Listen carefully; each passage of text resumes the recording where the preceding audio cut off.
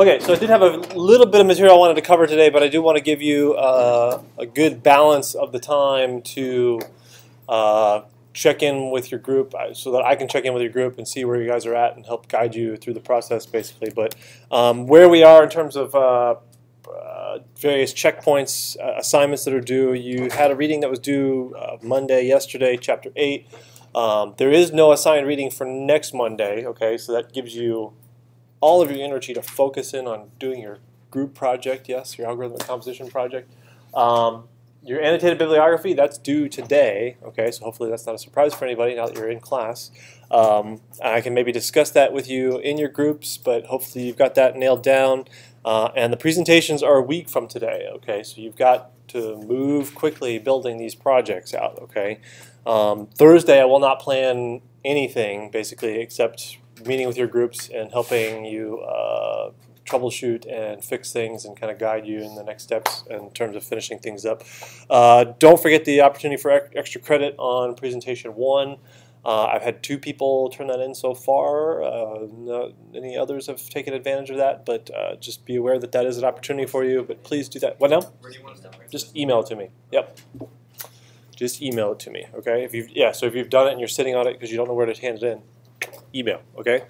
Um, so we're working on our algorithmic composition projects as we have been the last uh, a little over a week.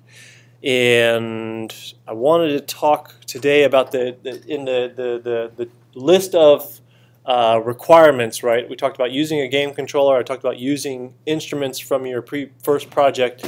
Uh, and optionally, you can use networking, okay? I wanted to expose you to some techniques to be able to have multiple copies of Max talking to each other through the network, okay? Um, and in order for this to work, you have to make sure that you have network connections, basically. So we'll talk through some of that. Uh, but there are multiple ways to do that. And uh, one of the things I wanted to show you actually relies on a third-party package that's not installed. So I want to maybe show you how to get that installed on these computers, hopefully quickly. I know I tried to help one group with this, uh, the physical modeling group uh, in Project 1. Uh, but hopefully I can show you relatively quickly how to uh, throw a set of externals and objects into your uh, copy of Max on this machine um, so that you can use uh, externals objects that have been created by other people besides Cycling 74. Okay, um, so where are these patches? So I'm going to be um, talking with through some um, some patches that I, because I wanted to do this quickly and I, I really literally, I want to be able to wrap up at the 30 minute mark, okay? Uh, so that we have the balance of time to, to meet with groups and consult and, and work on uh, your projects. In order to do that, rather than have you build patches, I actually have them already uh, set up on Blackboard. So if you go to Blackboard uh, and check in there, let's see, can I get out of here? What are you doing? Why is the web page not available? Because I have, hey, there we go. Okay, I just had to negotiate a connection. Okay. So computer music, if you, for those of you that haven't figured this out already, under the algorithmic composition folder, okay, I've got this folder down here called networking patches September 30th. Um, and I can do this in the future when I have topics that I want to cover rapidly with you, or guy, you, uh, or patches that I want to push to you guys. Uh, this is the same technique that I highlighted before, the fact that you can paste compressed copies of patches as text and, and send them via email. You can post them via forums. Apparently, I, I tried to do this with some of the YouTube videos, though. For some reason, the YouTube comments like ate the.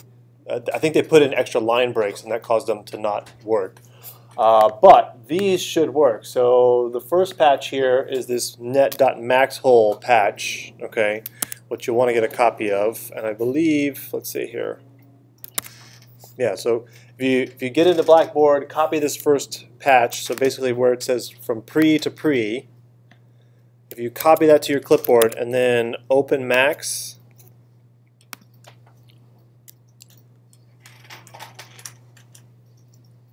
takes a minute, and I just do a file new from clipboard there's this. Okay. Is everybody able to do that with this patch? It's up and running and there's no... Uh, look carefully at your objects and make sure everything's the right color. If it if it has a kind of grayed out color, like for instance, if I ask for the counter object, where you see this grayed out color, that means that Max didn't find the object. So make sure that all your objects are, are white. Is that working? Yes? Good. Okay. So, uh, let's see here.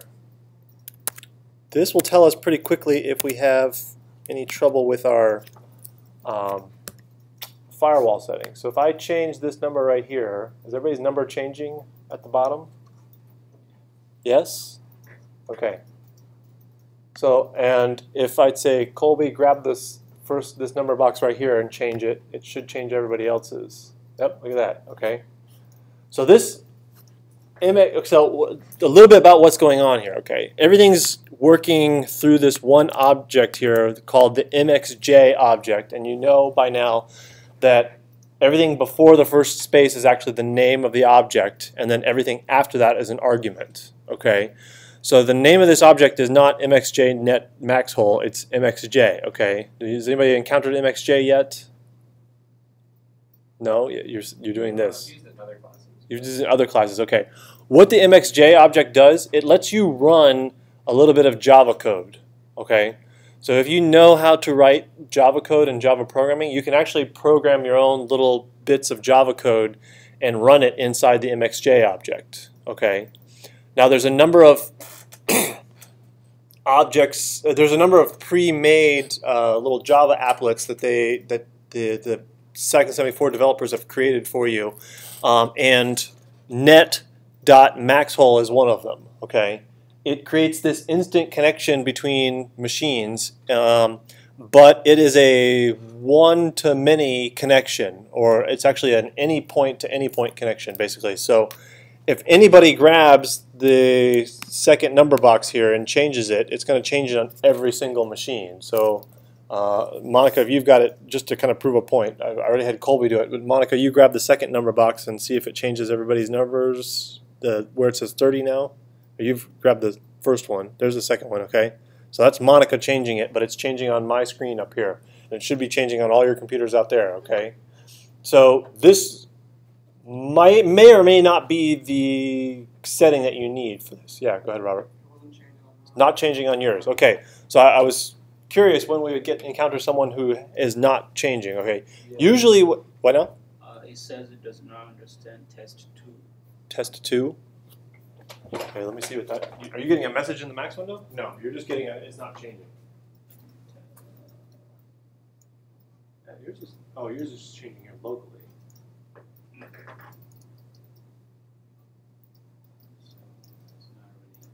Oh, interesting. I don't think I have that problem here. Is anybody else seeing that not understand test two?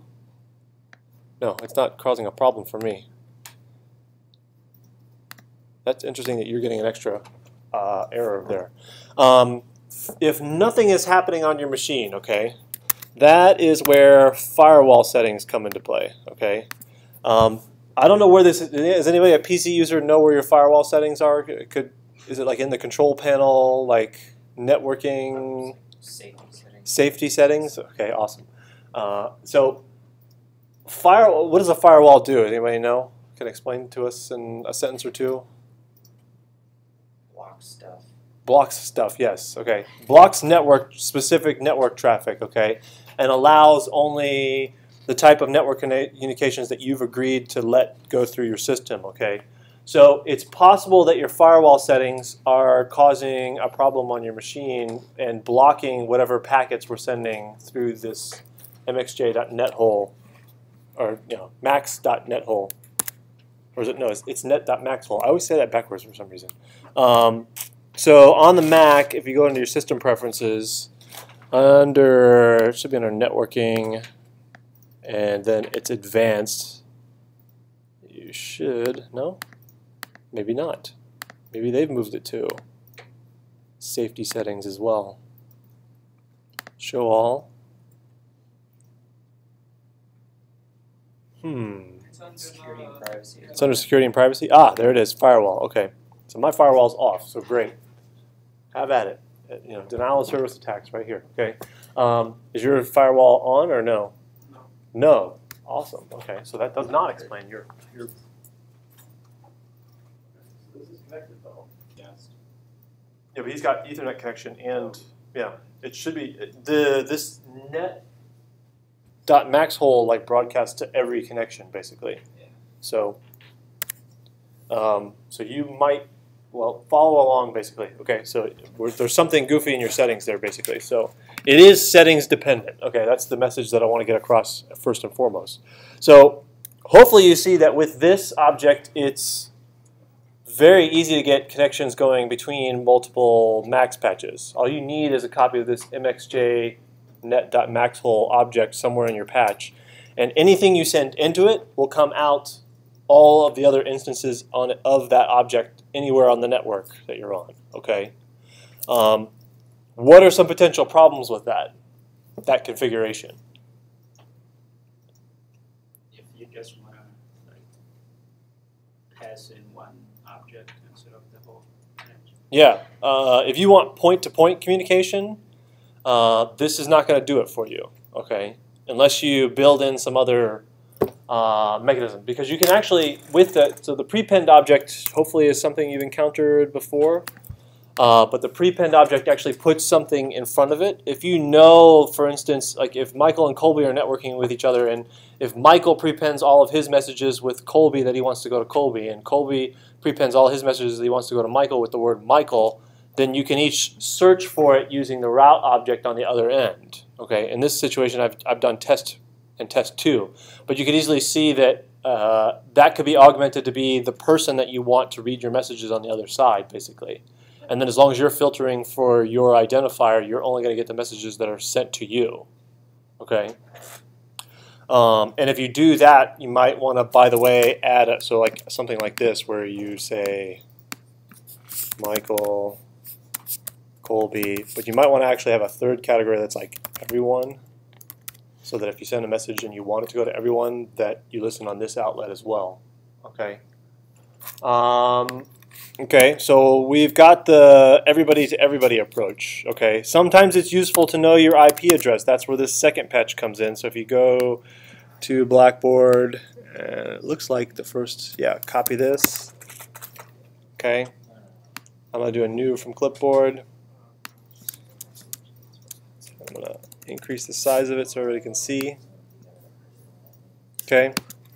So again, we're in this net family of Java uh, pre-built applets, and net.local will allow us to get our IP addresses. Okay, so if you click, let's see, I think you have to click this first, and that will generate this list.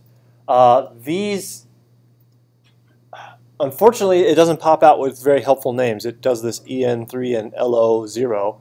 Um, you need to know, you uh, experience shows me that EN is going to be my Ethernet connection, and LO is going to be my Wi-Fi connection.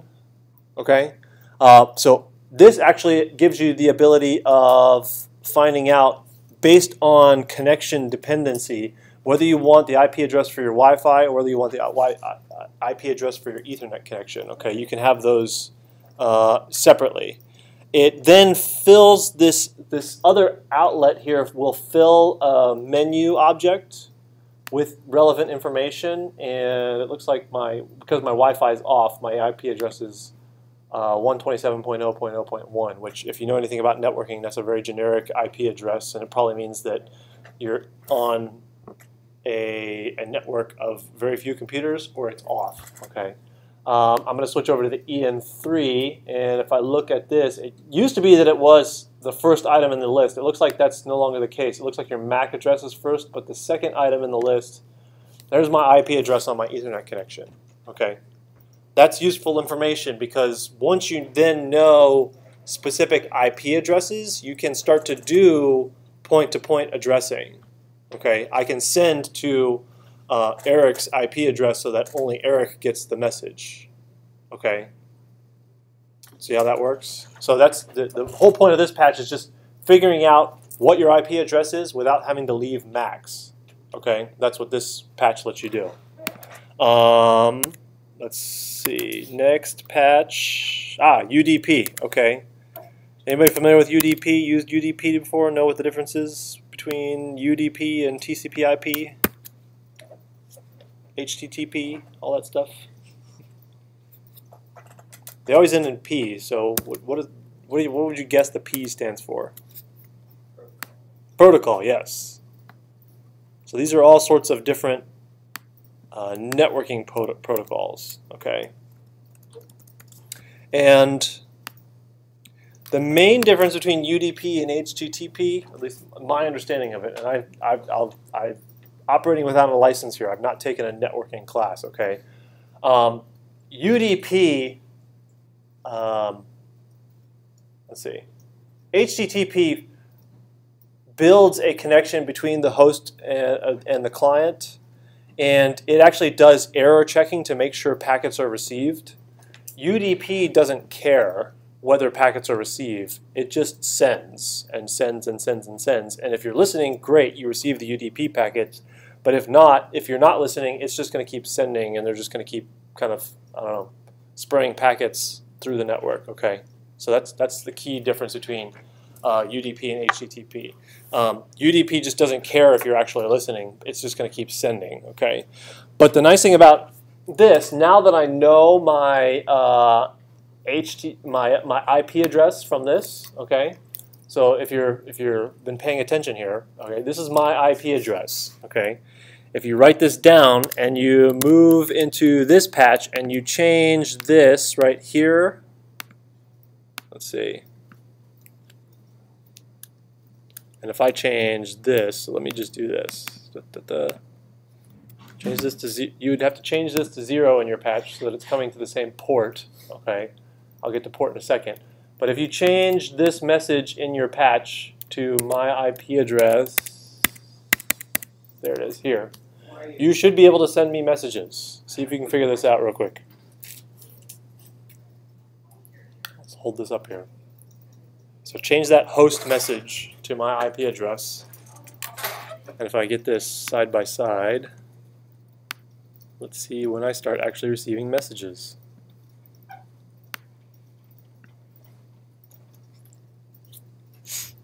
Or, you know what, did you guys change the port here, or I can do this actually.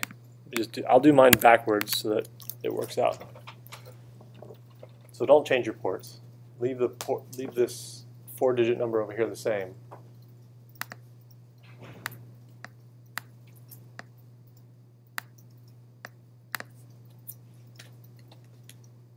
So if you change this message box and then lock the patch and click on it to ac actually update the UDP send object, I should start getting numbers over here.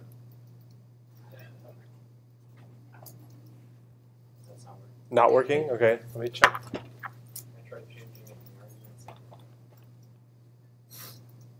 Okay, so we have a, fail on UDP. Okay. So the net.maxhole seems to be the easier route. Okay. Uh, but this should enable you, when it is working, to do point-to-point -point communication. So you can send to that IP address, that port, uh, and receive messages. Okay. Um, similar, uh, if anybody's looked at the TouchOSC app, I think it actually it's usually using UDP uh, communication as well. So you need to know the port number and the IP address that you're talking to as well if you're trying to use the TouchOSC app. Okay, so there's some other apps out there that will use the UDP protocol. Okay, but I want to at least show you the the the, the configuration here. UDP is not dependent on actually setting an IP address. It's the UDP send that you have to tell it which IP address you're sending to. Um, the port numbers have to match up. And the reason I have the port numbers differently is because typically you want to have different port numbers for sending and receiving so that you don't get your own messages back on the network. Okay, that's the reason for having different port numbers. Um, the port number is effectively like a channel number in MIDI. Okay, uh, everybody, you're receiving everything that's coming into that your IP address, and then you can, based on port selectivity, you can actually listen to um, different parts of the traffic coming in. Okay, so uh, again, it's important to not only have the right IP address, but also have the right port number that your the your listener is listening on have that port number correct. Okay. Um, so since I, I've described it as best I can without actually demonstrating it, uh, the last one I want to demonstrate is actually an object, which is very helpful for parsing messages across the network, and that's OSC route, which I'm pretty sure is not installed on your machine. So you can do this, copy and paste to clipboard. From clipboard, okay, yeah. So is everybody getting these grayed out OSC routes here? Okay. Okay. So that means that we don't have this object. So the question is, where do we get this object? Well, that's the next link on the uh, in Blackboard is are the CNMAT objects. So let's go ahead and open this in a new tab. Okay. There's different versions of this, and the one that you want is the Mac OS X version, the latest Mac OS X version. Go ahead and download that. It should be relatively quickly, although I was surprised at how slow it was this morning in my office. Is it done already or no? The downloading. Okay. 27 megabytes takes a few seconds. It's coming from California, so what do you want? Okay. Uh, once you have it downloaded, okay, you'll find this tar.gunzip file. So go ahead and make sure you found that on your hard drive. Is there there so far? You got the, the gunzip file?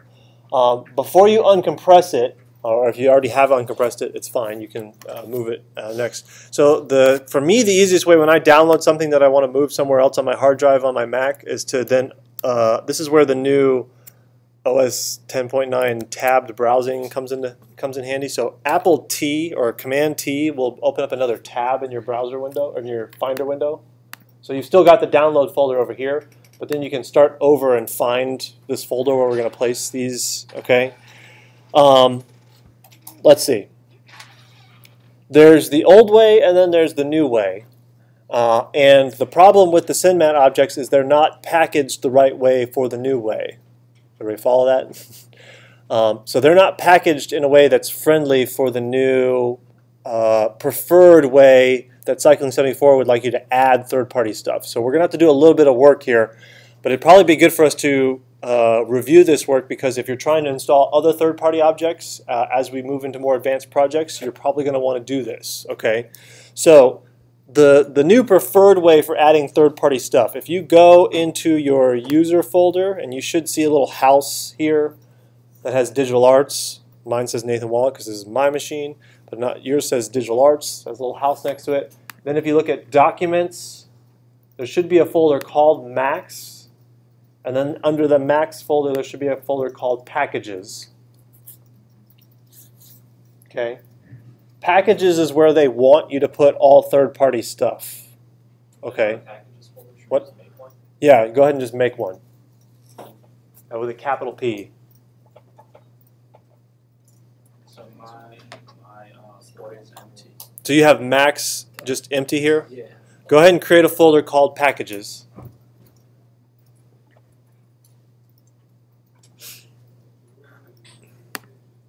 Okay, and so that we're all on the same page, let me just do this. Okay. So the nice thing about the tab browsing, you can do this. If you go back over to your downloads folder and just simply click and, oh, I don't want to go to the, I want to make sure this says packages.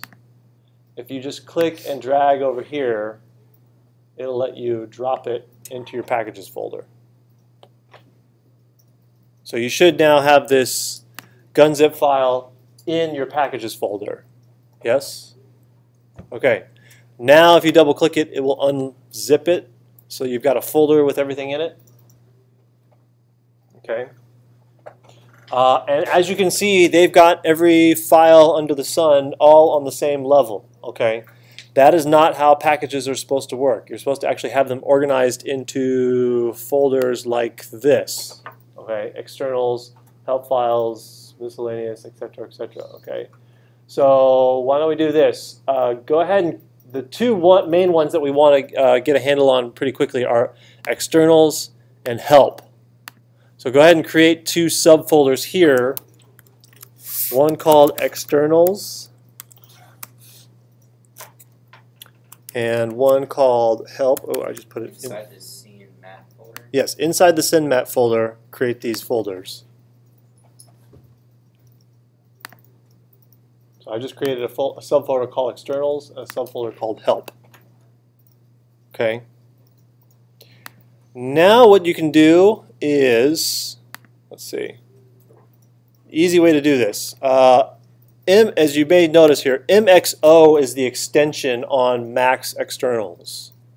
Okay. So what I like to do is this. I like to use the little Finder search, I, a little spyglass up here and type in MXO while I'm in this folder, which it's going to default to this Mac, but if you just click right here, it'll switch back to that folder you were in. Okay. Now, why am I getting a lot of... Oh, because it's not... Hmm. Here's all these MXO objects. Yeah. I bet you what's happening is it's it's searching the contents of these max patches, which is not what we want it to do. But if you scroll down, you should see in this folder all of the MXO files. And if you just click on the first one, then shift click on the last one, you should be able to select them all. There's a folder inside of called O- ODOT. Does highlight that too? Or These up here. no? Oh, they're including the ODOT stuff? Oh, okay, good. Um, no, uh, you can. That ODOT stuff's like brand new, so I haven't had a chance to play with that. That should be interesting.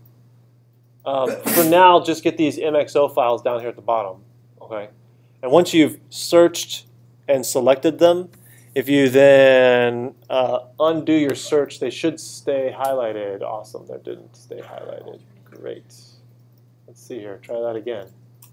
We're going to find another route for this. Let's try it this way. Uh, I'm going to go to the list view here. Sorry, this is taking a little bit longer here.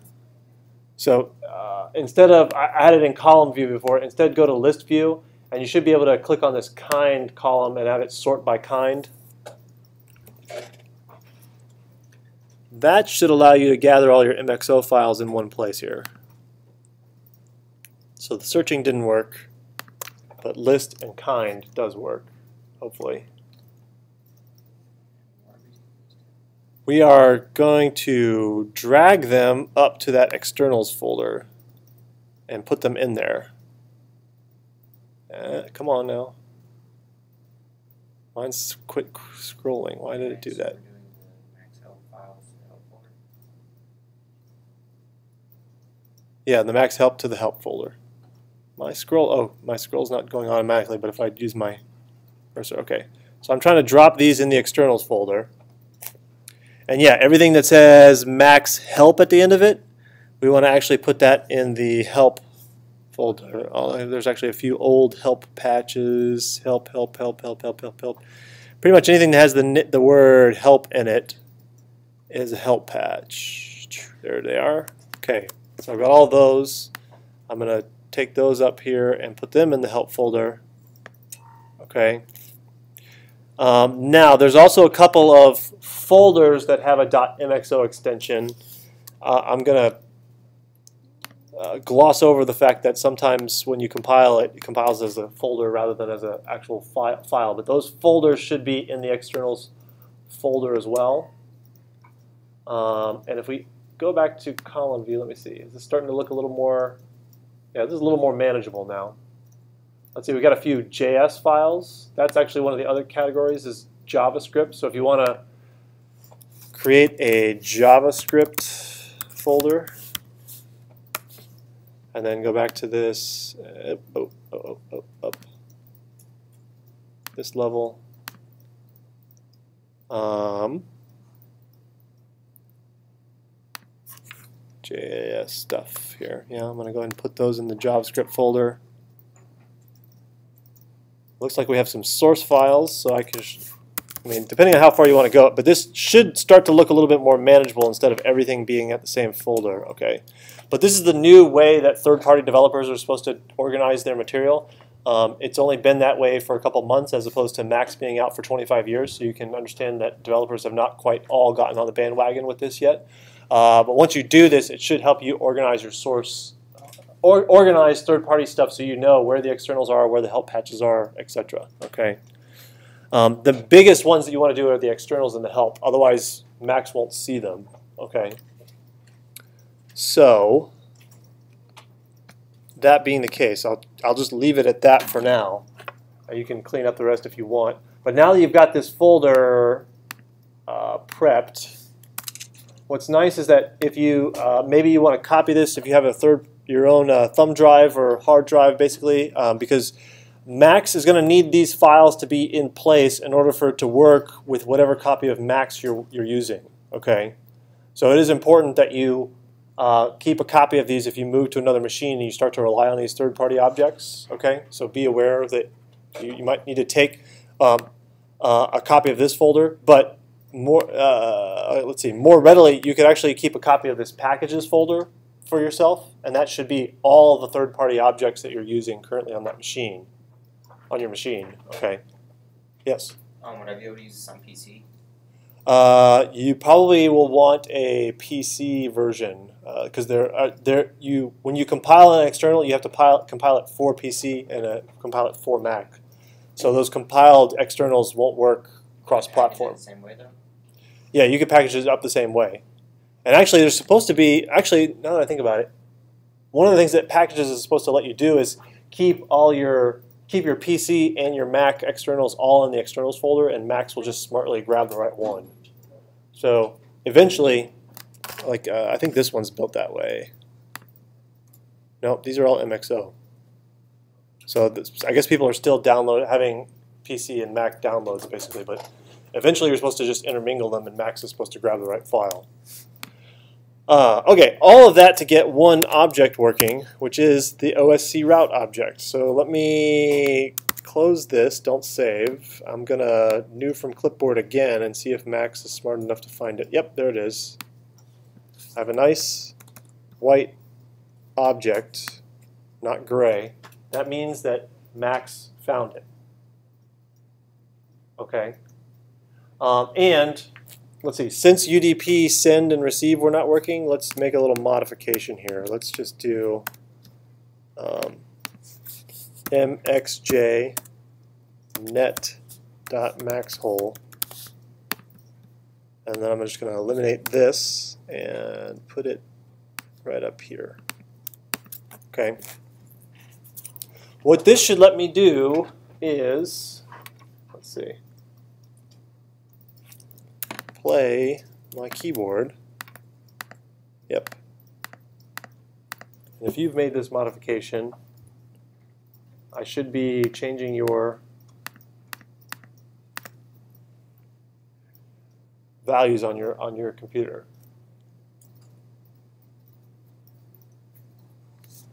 Oh, somebody's changing mine. Great. So somebody else got it working. Okay. What's nice, the reason for adding this extra object, what's nice about it is, uh, before you, you saw me using prepend and route on the other side. Route is wholesale. You have to use the entire first value in your list, okay? What's nice about OSC route is you can actually start to divide using the slash mark, okay? So I can actually take these two values and send it to OSC slash freak and OSC slash amp, and it will go first here to this OSC route object and look for that first part of the identifier up to the next slash, so the slash OSC, and I can have it go here. Then I can start to look for the next part of the address, freak and amp, okay? Uh, it might be easier for me to explain if I do this. Let's see, I'll put a message box here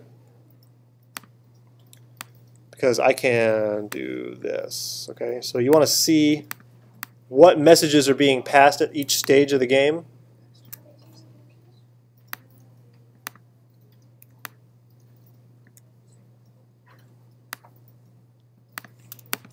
So let me do it this way. I'll put a comment one.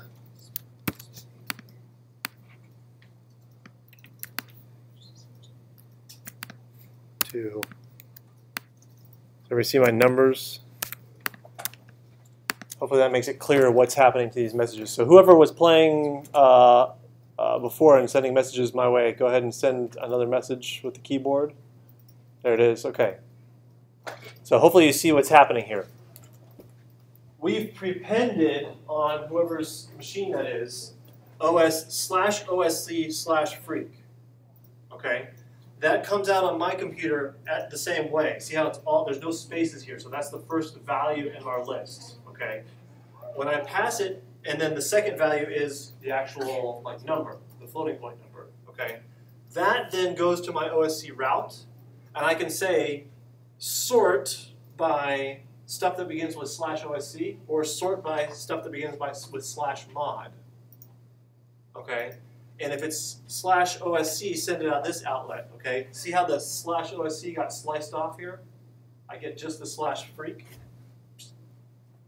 There, okay. I can then use it in chain and say, okay, now slice off the sl slash freak and or the slash amp. I should have connected it here basically so I stayed consistent, but um, then it slashes off that last part of the identifier and just sends the value basically. So what this allows you to do is create tree structures where I'm sending stuff to my my oscillator, or in this case, I was thinking of uh, something that's like modulation synthesis, where you've got your carrier frequency and your modulation frequency, and you want to have both of them have a frequency and an amplitude, but you can sort them basically on the other other side. Okay.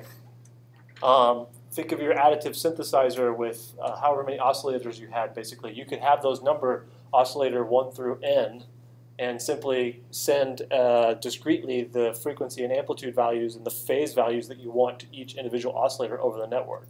Okay. So it allows you to build kind of tree structures of messages and send them to the right place. Okay. Uh, this is a very basic example, but the more complex your patch gets, the more powerful this gets. Okay, to be able to send things across the network, and hopefully this could solve the situation where the, the net.maxhole object is broadcasting to everybody. You could easily sort and parse things by who needs to be listening to what at the various locations. Everybody see the potential here? Okay. Any questions? I, I, went 15 minutes over what I said I was going to go over, so I apologize, but we've got 30 minutes left. That we can talk about your projects. Um, some of you are looking at this saying, there's no way we're adding networking to our project. We're going to get working on one machine. Others are like, yeah, it'd be cool to have an oscillator over here and a synthesizer over here and have them talking to each other, basically. Um, I mean, right now we're not doing anything with sound, but it, it'd be very easy for me to my old standby test over here.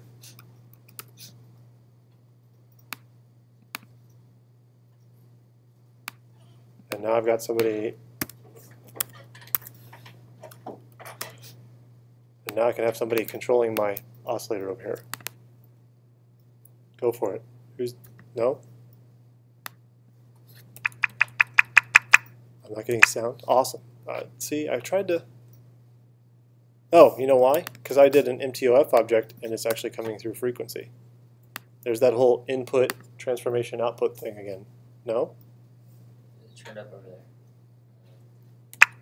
Not even like on the, that thing. I'm just coming out of these laptop speakers. It should be coming out. Awesome. Why is that not coming? Okay, well, I'll have to figure out why that's not making any noise. Because it should be making noise. It should be making a lot of noise right now. Okay. I'll figure it out. But I was hoping to make some noise and have you guys change the change the uh, frequency on the fly over the over the network. Okay. Um, yeah, so think about these things if you're looking to get into network control. Where is the who's controlling what? Okay, this is all stuff that's covered in chapter eight. Broadcasting versus narrowcasting, and also the network configurations. Uh, try to, as much as possible, if you do do some network stuff, try to automate the setup as much as possible uh, because there's nothing more frustrating than sitting there and waiting for someone to type in IP addresses back and forth uh, uh, versus uh, different computers to make sure everything's con- configured before performance. So um, let's. I'll let you guys uh, get working, and I'll meet with you guys individually. But hopefully, you see some possibilities in this. Okay, I'll leave it at that.